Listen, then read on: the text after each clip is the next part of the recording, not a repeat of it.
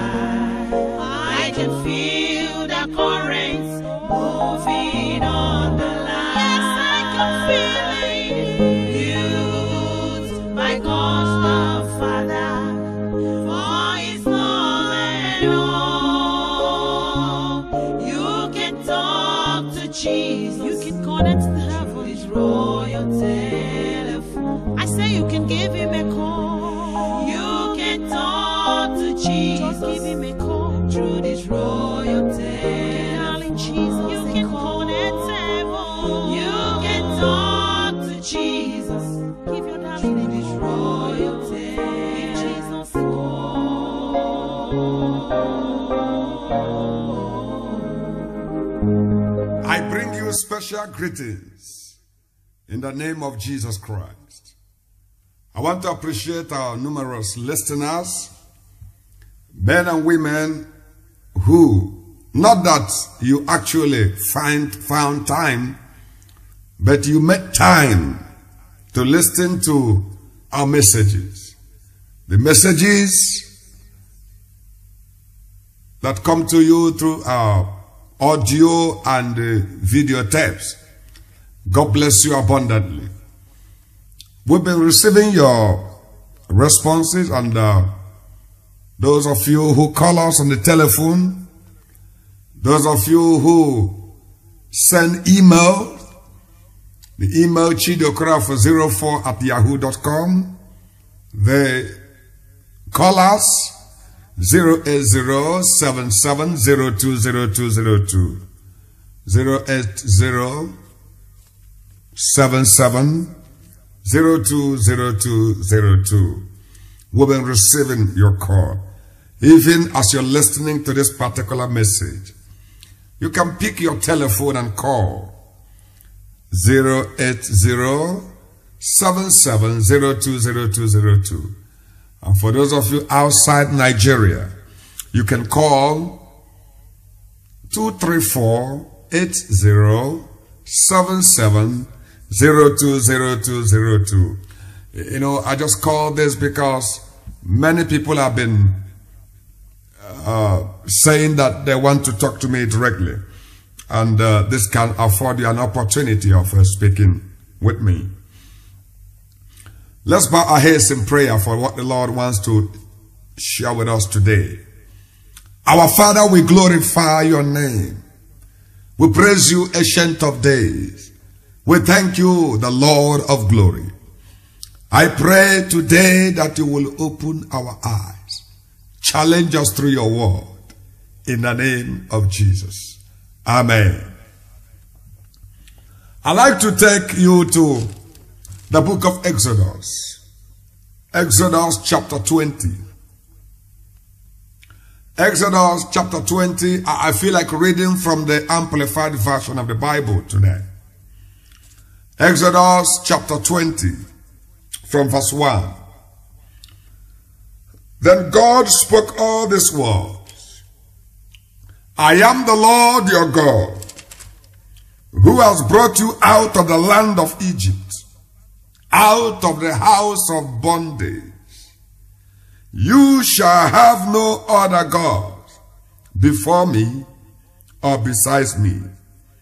You shall not make yourself any graven image to worship it or any likeness of anything that is in the heavens above or that is in the earth beneath or that is in the water under the earth. You shall not bow down yourself to them or serve them. For I, the Lord your God, am a jealous God, visiting the iniquity of the fathers upon the children to the third and fourth generation of those who hate me. Amen. You see, when we study this chapter, one key issue here is that the Lord said, Thou shalt have no other God before me. The Lord is against idol worship. Idol worship. And by the way, what is an idol? An idol is anything or person that takes the seat of God in your heart. Any ideology, anything, any human being, anything, anything is anything that takes the seat of God. In other words, anything that overthrows God, anything that makes God secondary in your life has become an idol. I know a couple of weeks ago, I spoke on idol worshippers in the church. People who have a particular person or thing that they elevate, adore more than God. And um, today, we want to consider something very, very important. You see, I bless God for technology. I bless God for the wonderful thing that the Lord has done in our generation. One of the great things the Lord has done in our generation is what we call GSM. GSM, which we know. You see, when God created man, he created man in his own image and likeness. And this likeness of God, he said to man, Thou shalt worship no other God except me.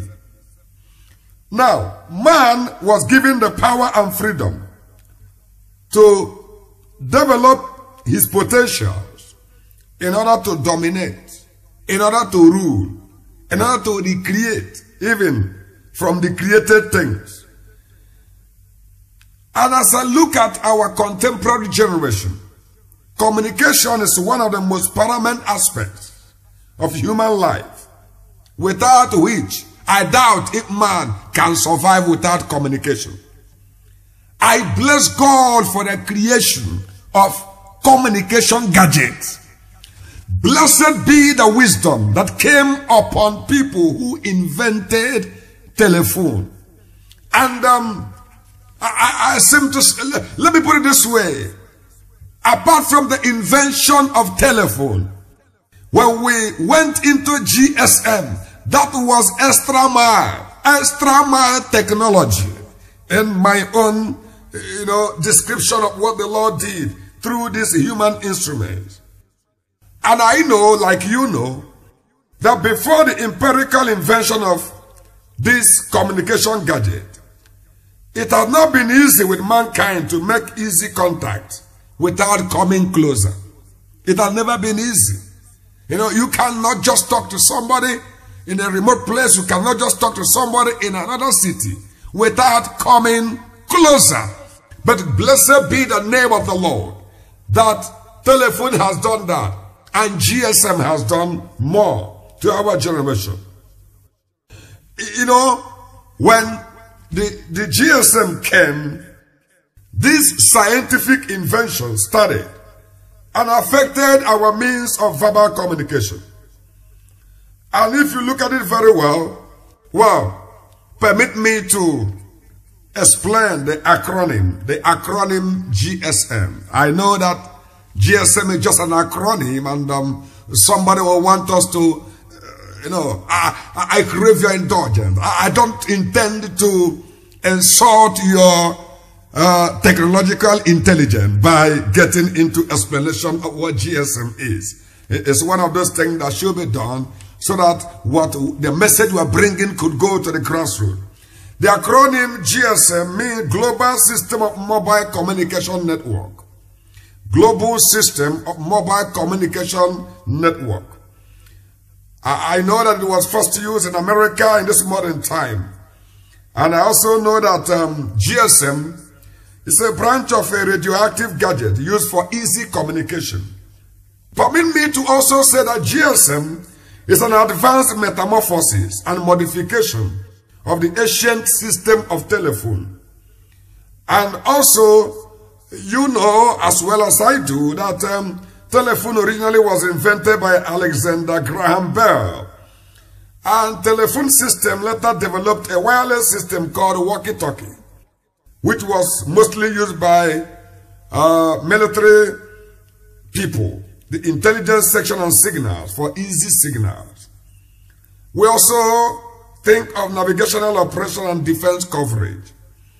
Well, as advancement in scientific technology progressed, this wireless system was improved upon to this level of GSM for all classes of people. You know, a couple of years ago, many, many years ago, if you see a man with a mobile phone, he must be he must be a rich man. You know, it was as if it was, it was dedicated for the rich. Thank God that there's a breakthrough. The GSM has brought breakthrough. Even a peasant farmer can possess GSM. And it's all over the place. Blessed be the name of the Lord.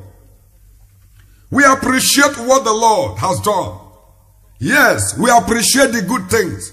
We appreciate the, the government also that had this dream, especially to bring GSM to this part of the world. To God be the glory.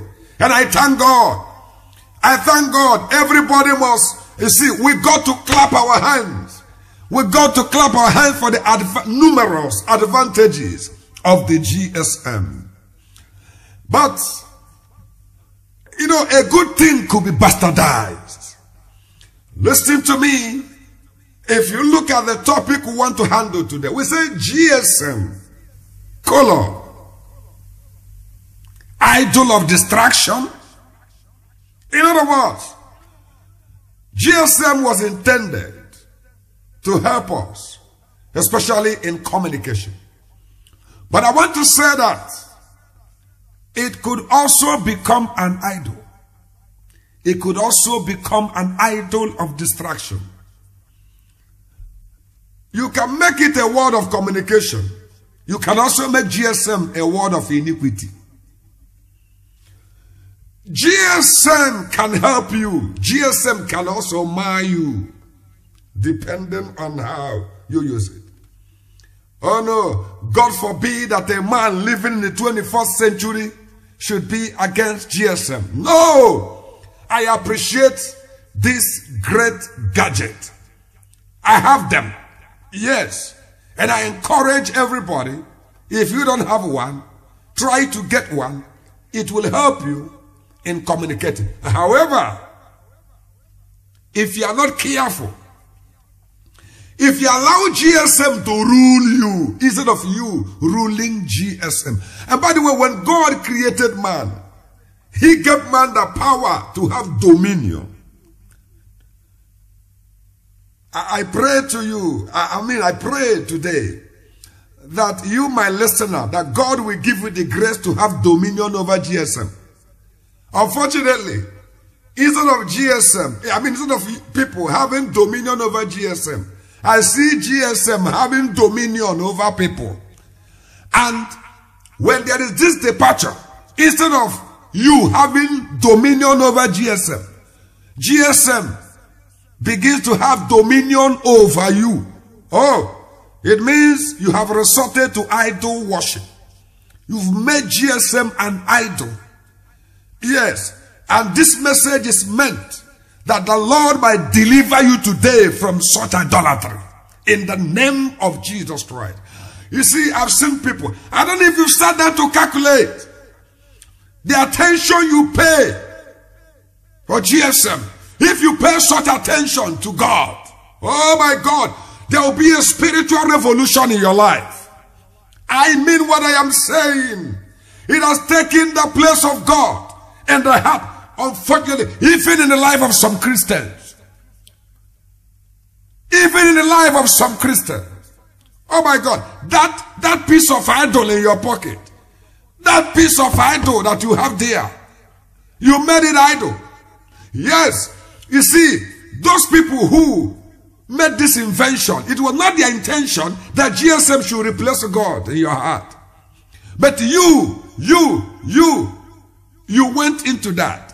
You made GSM your God. You may say, Mr. Preacher, what are you talking about? I will explain to you what I'm talking about. I will explain to you the thing that you have done with this piece of, you know, with this gadget called GSM. I'm going to explain to you and you will see where we are going and why we want this, uh, you know, let's go to the church. Sometimes while you're worshiping, you see a man or woman rushing out of the auditorium, rushing out. And you begin to wonder. Maybe there's an emergency. I've seen people who abandoned a sermon. A sermon that was on. They didn't mind. There was a beckoning of their idol. Their idol was